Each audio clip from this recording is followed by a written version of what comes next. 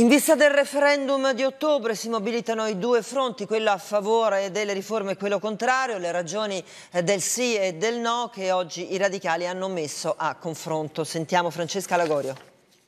È un confronto serrato tra le ragioni del sì e del no al referendum organizzato al Senato a Roma dai radicali. L'incrocio pericoloso referendum costituzionale e legge elettorale a discutere costituzionalisti dei comitati promotori e politici dei fronti contrapposti. Il pericolo più grande secondo voi di questa riforma costituzionale?